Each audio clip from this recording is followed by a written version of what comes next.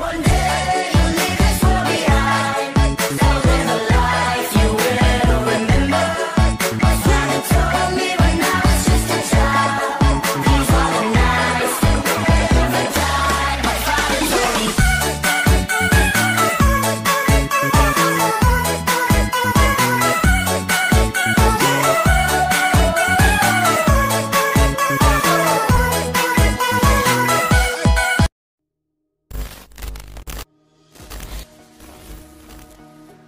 Yo, kamusta guys? Welcome back again to my YouTube channel. Okay guys, ituturo ko sa inyo ngayon kung paano gumawa ng Kiminua Sky Replacement sa inyong Android phone. And pero bago natin simulan to, please don't forget to subscribe and click the notification bell for more updates. And so game, simulan na natin. Okay, open na natin yung KineMaster. Then click natin yung create project sa may gitna tapos yung 16 by 9 then lagay natin yung sample video yan. Yung papalitan natin ng saturation saka ng hue yan. Then tanggalin natin yung sound. Then click natin ulit. Then sa may adjustment click natin yung sa may saturation. Then bawasan natin negative 31 then sa may hue naman, dagdagan natin positive 40, yan. Then okay. Then click natin yung screenshot, then capture and save. Then click natin ulit, then cut natin. Click natin yung gunting. Yan. Then cut natin sa may right. Yan. Then click natin yung media. Then sa may capture, lagay natin yung na-capture natin. Yan. Then pahabain natin, then okay. Then, lagay natin sa may unahan. Yan. Then, layer. Tapos, media. Lagay natin yung comet. Yan. Then, resize natin. Full screen. Yan. Then, okay. Then, click ulit natin. Then, punta tayo sa may blending. Then, click natin yung screen. Yan. Then, okay. Then, check natin.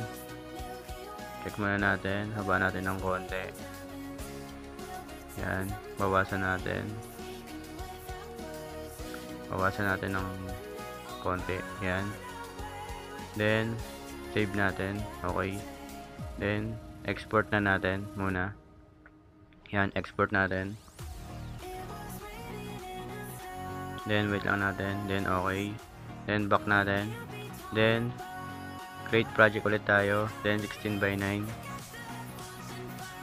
then punta sa background. Lagay natin ng black background. Then pahabain natin. Okay. Lagay natin sa unahan. Then layer ulit. Media.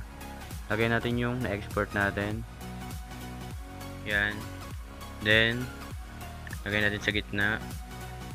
Then resize natin yung video clip. Yan. Resize natin Then, lagay natin sa may bago lumabas yung comet. Yan. Yan. Then, click natin yung susi. Yan. Tapos, click natin yung sa may animation, yung plus. Yan. Tapos, adjust natin. Yan.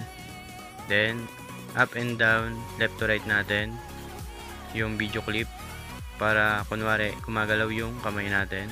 Yan. Yan. Sa may right. Bago-baguhin lang natin yung video clip ng up and down, left to right. Yan.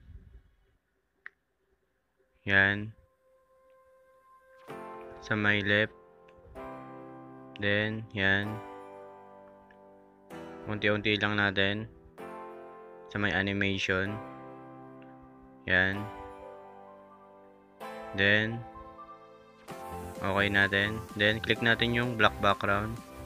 Then, cut natin sa may right. Yan. Then, lagay natin sa may bandang dulo.